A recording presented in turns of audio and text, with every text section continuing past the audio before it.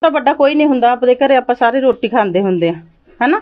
ਤੇ ਉਹਦੇ ਨਾਲ ਮੈਂ ਕਿਸੇ ਨਾਲ ਮੁਕਾਬਲਾ ਨਹੀਂ ਕਰੂੰਗੀ। ਜਿਹਦਾ ਜੀ ਕਰਦਾ ਜੇ ਸਰਪੰਚੀ ਦੇ ਵਿੱਚ ਆਉਣ ਨੂੰ, ਉਹਨੂੰ ਖੁੱਲਾ ਸੱਦਾ ਹੈ। ਇਹ ਨਾ ਸੋਚੇ ਵੀ ਖ- ਅਸੀਂ ਕੋਈ ਉਹਦੇ ਤੇ ਦਬਾਅ ਪ੍ਰੈਸ਼ਰ ਕੁਝ ਵੀ ਪਾਵਾਂਗੇ। ਸਗੋਂ ਮੈਂ ਨਹੀਂ ਖੜੀ ਹੋਣਾ। ਜੇ ਕਿਸੇ ਨੇ ਖੜਾ ਹੋਣਾ, ਉਹ ਖੁੱਲ ਕੇ ਖੜਾ ਹੋ ਸਕਦਾ, ਆਪਦੀ ਜ਼ਿੰਮੇਵਾਰੀ ਲੈ ਕੇ ਖੜਾ ਹੋਵੇ। ਹਨਾ? ਜਾਂ ਪਿੰਡ ਕਿਸੇ ਨੂੰ ਖੜਾ ਕਰਨਾ ਚਾਹੁੰਦਾ, ਉਹ ਵੀ ਖੜਾ ਕਰ ਸਕਦਾ। ਇਦਾਂ ਕਰਕੇ ਆ। ਮੇਰੀ ਤਾਂ ਇਹੀ ਵਿਚਾਰ ਨੇ। ਵੀ ਸਿਰਫ ਜੇ ਆਪਣਾ ਪਿਆਰ ਨਾਲ ਸਾਰਾ ਕੁਝ ਬਣ ਜੇ ਨਾ, ਨਾਲੇ ਤਾਂ 50 ਲੱਖ ਰੁਪਈਆ ਪਿੰਡ ਨੂੰ ਮੈਂ ਦੇ ਦੂੰਗੀ। 5 ਲੱਖ ਰੁਪਈਆ ਭਗਵੰਤ ਮਾਨ ਵੱਲੋਂ ਆ ਜਾਊਗਾ। ਬਾਕੀ ਗ੍ਰਾਂਟਾਂ ਆਉਣਗੀਆਂ, ਉਹ ਵੀ ਲੱਗਣਗੀਆਂ। ਜਿੰਨਾ ਹੋ ਸਕੂਗਾ, ਮੇਰੇ ਤੋਂ ਮੈਂ ਆਪਦੇ ਕੋਲੋਂ ਲਾਉਂਗੀ, ਮੇਰੇ ਪਿਓ ਦੀ ਯਾਦ 'ਚ ਲਾਉਂਗੀ। ਆਪਦੇ ਲਈ ਮੈਂ ਕੁਝ ਨਹੀਂ ਲਾਉਂਗੀ।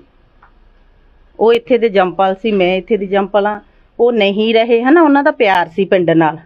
ਉਹਦੀ ਯਾਦ 'ਚ ਲਾਉਂਗੀ, ਜੋ ਵੀ ਲਾਉਂਗੀ। ਜੋ ਵੀ ਕੁਝ ਮਿਲੂਗਾ, ਤੁਹਾਡੇ ਸਾਹਮਣੇ ਹੋਊਗਾ। ਕੋਈ ਚੋਰੀ ਨਹੀਂ ਹੋਊਗਾ, ਕੋਈ ਲੁਕੋ ਕੇ ਨਹੀਂ ਹੋਊਗਾ। ਕਿਉਂਕਿ ਸਾਡੇ ਤਾਂ ਅਕਾਊਂਟ 'ਚ ਪਹਿਲਾਂ ਹੀ ਹੈਗੇ ਨੇ, ਸਾਨੂੰ ਤਾਂ ਕੋਈ ਲੋੜ ਨਹੀਂ ਹੈਗੀ ਲੁਕਾਉਣ ਦੀ।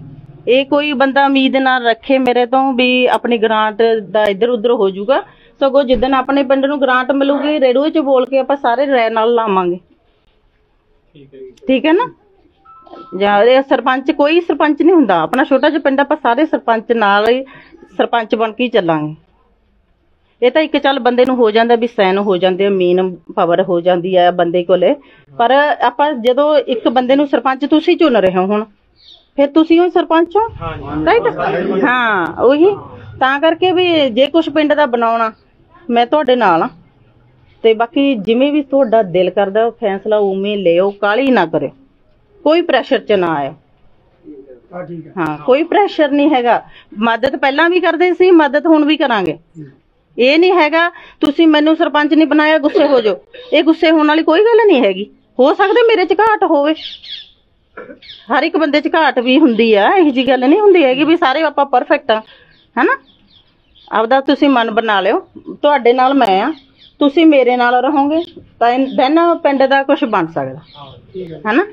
ਜੇ ਆਪਾਂ ਹੀ ਆਪਸ ਚ ਪੱਟ ਗਏ, ਫਿਰ ਬਾਨਾ ਕੁਝ ਨਹੀਂ ਹੈਗਾ ਨਾ ਫਿਰ ਆਪਾਂ ਬਲੇਮ ਕਰਦੇ ਨੇ, ਸਰਪੰਚ ਨੇ ਕੁਝ ਨਹੀਂ ਕਰਿਆ ਕੁਝ ਨਹੀਂ ਕਰਿਆ।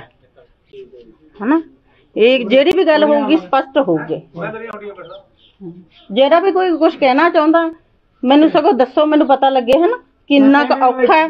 ਕਿੰਨਾ ਕੁ ਸੌਖਾ ਹੈ ਇਹ ਕੰਮ? ਮੈਨੂੰ ਸਗੋਂ ਪਤਾ ਲੱਗੇ ਨਹੀਂ ਕਈ ਹਾਂ। ਹਾਂ।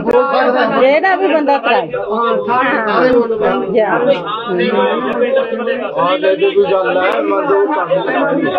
ਸਗੋਂ ਇਸ ਟਾਈਮ ਮੈਂ ਨਾ ਤਰਾ- ਤਰਾਜ ਮੈਂ ਜ਼ਿਆਦਾ ਸੁਣਨਾ ਚਾਹੁੰਦੀ ਆ ਜਦੋਂ ਆਪਾਂ ਤਰਾਜ ਸੁਣਾਂਗੇ ਫੇਰ ਹੀ ਆਪਾਂ ਕੋਈ ਕੰਮ ਕਰਾਂਗੇ। ਜਦੋਂ ਆਪਾਂ ਸਰਹਿਤਾ ਸੁਣਦੇ ਆ ਬੰਦਾ ਸਗੋਂ ਕੰਮ ਹੀ ਨਹੀਂ ਕਰਦਾ।